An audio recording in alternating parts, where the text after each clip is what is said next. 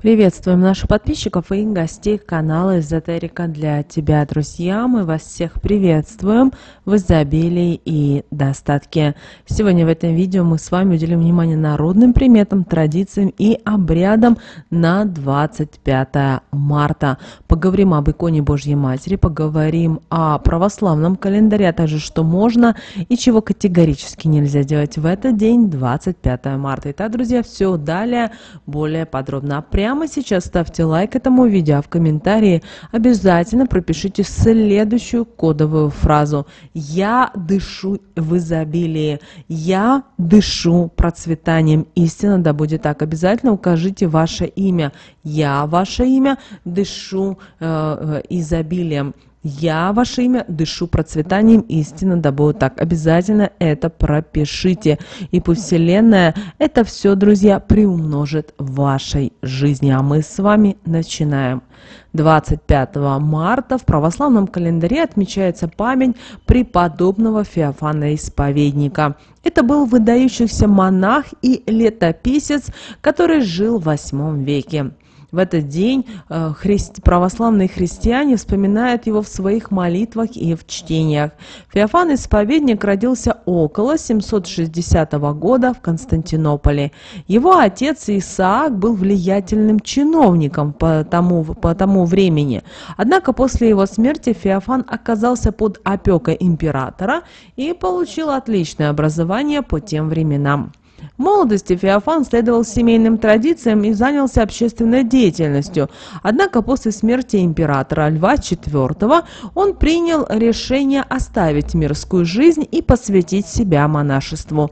Вместе с супругой они решились на развод и постриглись в монахи преподобный Феофан внес значительный вклад в распространение православия, основав на тем временам множество монастырей и способствуя духовному просвещению народа.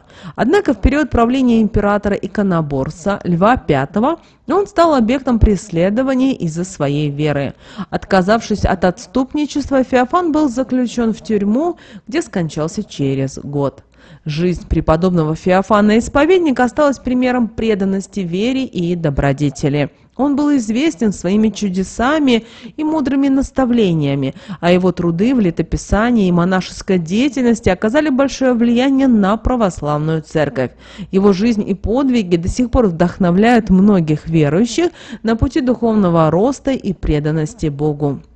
Кроме того, обращаем ваше внимание, что 25 марта 2024 года является особенным днем для православных верующих, так как они будут отмечать начало второй недели Великого Поста. Этот период является важным временем духовного очищения и покаяния перед предстоящими праздниками Пасхи.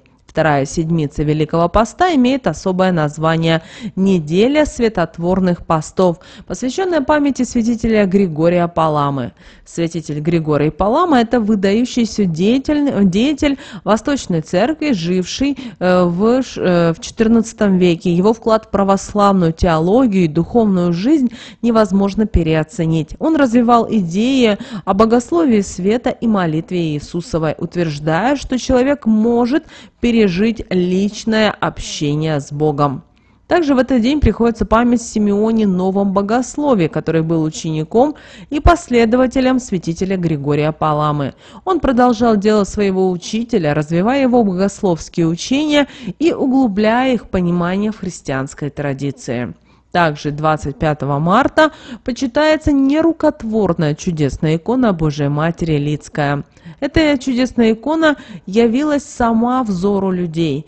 Ее считают нерукотворной. В городе Лид строился храм. Жители города явились в Иерусалим к Божьей Матери с просьбой, чтобы она своим присутствием осветила новый строящийся храм. А, они их, э, она их выслушала и отправила домой со словами, что появится в храме обязательно. По возвращении посланники увидели, что лик Божией Матери проступил на одном из столбов храма. Так лик Богородицы появился и остался в храме. Позже с него были сделаны списки. К этому чудотворному лику обращаются за помощью те, кому нужно помолиться о детях, о счастье, об исцелении и других очень сложных жизненных ситуациях. Богородица помогает всем, кто приносит просьбы с чистым сердцем и от всей души искренне. А мы вам, друзья, оставим молитвы в описании к этому видео. Обязательно помолитесь в этот день. Есть возможность сходить в храм, обязательно это сделайте. Ну а в народном календаре 25 марта получил следующее название Феофана в день Феофан Проламинаст или Григорий. Именно этот день, 25 марта, традиционно ассоциируется с весенним приходом и началом нового этапа в природе. На протяжении веков на Руси это время встречали с особым вниманием и праздничным настроением. Феофанов день сопровождался множеством обычаев, традиций, которые были связаны с приходом весны. Этот день люди проводили различные обряды для привлечения удачи, благополучия и плодородия. В, нек- в некоторых регионах народ собирался на ярмарки и праздничные гуляния, чтобы отметить наступление нового времени и поделиться радостью с близкими соседями. Одним из распространенных обычаев было устраивание в этот день весенних костров, символизирующих очищение и обновление. Люди собирались вместе, пели песни, танцевали вокруг костра, приветствуя приход весны и прощаясь с зимней стужей. Костры также считались защитой от злых духов и болезней, принося в дом благополучие и удачу. Также традиционно в этот день устраивались различные ритуалы для предсказания погоды и удачи в будущем. Люди наблюдали за природными явлениями, смотрели на облака, ветер, направление дыма от костра, чтобы попытаться предугадать, какие события их ожидают впереди. Согласно народным приметам, туман, который наблюдается в начале этого дня, имел особое значение для того, чтобы можно было понимать, какой же в этом году будет урожай конопли и льна.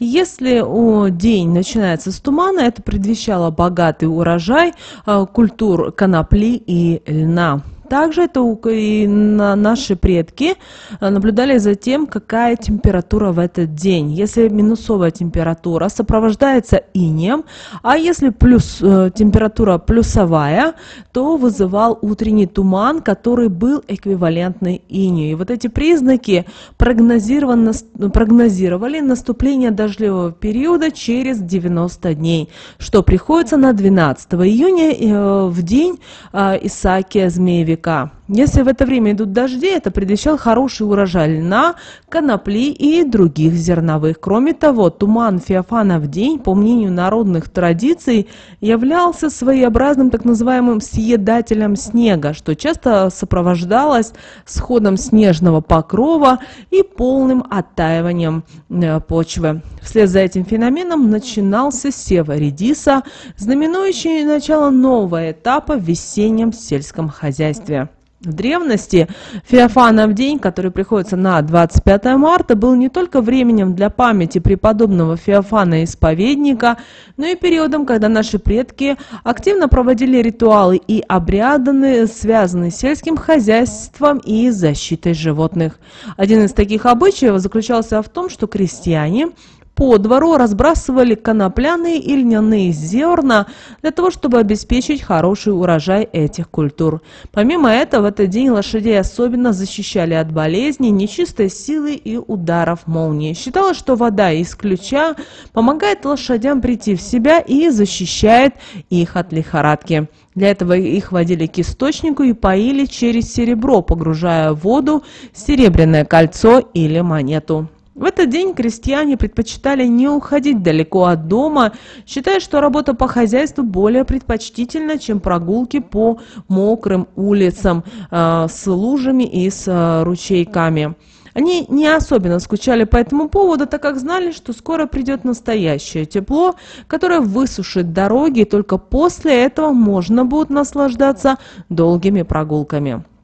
Феофанов день 25 э, марта в народном календаре сопровождался множеством обрядов и примет, связанных с животными, особенно с лошадьми. В народной мудрости эти, эти привычки и верования имели глубокие корни, отражая важность лошадей в повседневной жизни крестьян. Лошади, как надежные помощники, занимали центральное место в хозяйственной деятельности крестьян. Их здоровье считались э, ключевым для успешного хозяйства, поэтому в день день Феофана особенное внимание уделялось лошадям.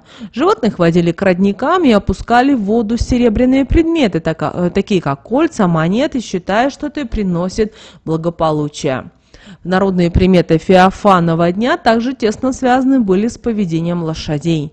Это если э, неожиданно э, э, голова движется лошади или фыркает на дороге, это говорило о том, что будущие какие-то будут интересные события или связанные с погодой. Фырканье лошади могло быть воспринято как предвестие радостной встречи впереди. Кроме того, э, сегодня поили лошадей ключевой водой, которую называли через серебро. Этот ритуал предполагал использование любого серебряного предмета, такого как монеты, колечки или ложки, которые клались в воду для того, чтобы животные пили через него.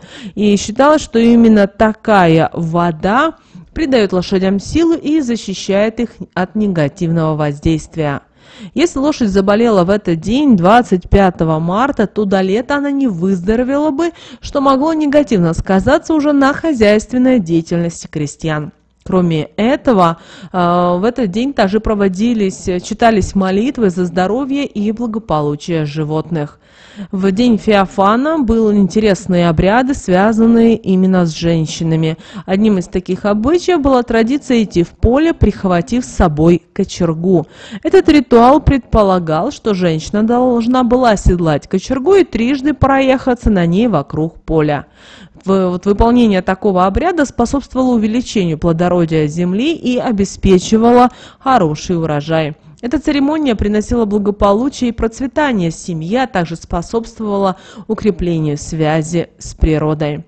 Э, также в этот э, день считалось, что нужно обязательно покормить птиц зерном, а это значит принесет хороший урожай. Птицы во все времена считались символом э, счастья, а забота о них считалась благоприятным знаком для будущего.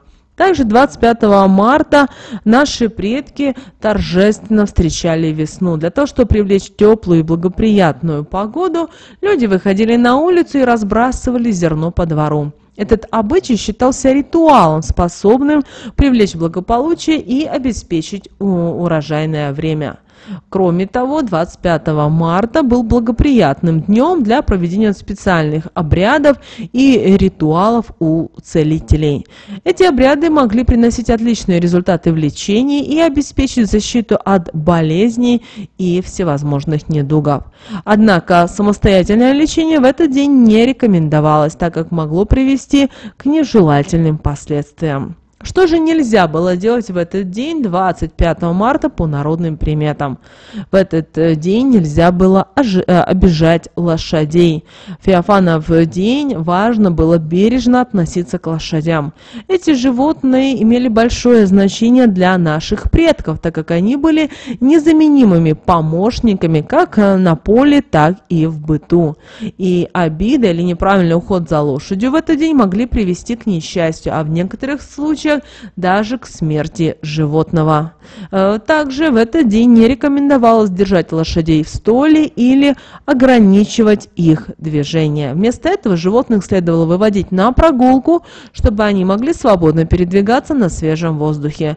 И нарушение этого предписания, по мнению предков, могло привести к заболеваниям и проблемам со здоровьем, которые могли сказаться уже в начале осени. Также в этот день наши предки старались, старались лошадь не поить обычной водой, так как это могло привлечь на них с. Для этого наши предки проводили особенно, приготовили, готовили особенную воду, спускали серебряный крест в родниковую воду и дали ему полежать там около трех часов. После этого вода считалась, что становится благословенной и приносит защиту от негатива, и только тогда ее можно давать лошади лошадей. Э, также в этот день э, нужно избегать конфликта, выяснения отношений на повышенных тонах, иначе эти действия могут принести несчастье и неудачи на протяжении всего года. Поэтому лучше воздержаться от острых разговоров и избегать конфронтации, сохраняя мир и спокойствие. Также в этот день нельзя было кормить птиц пшеном, иначе это могло принести неблагоприятные последствия. Наши предки считали, что лучше выбрать в этот день льняное семя.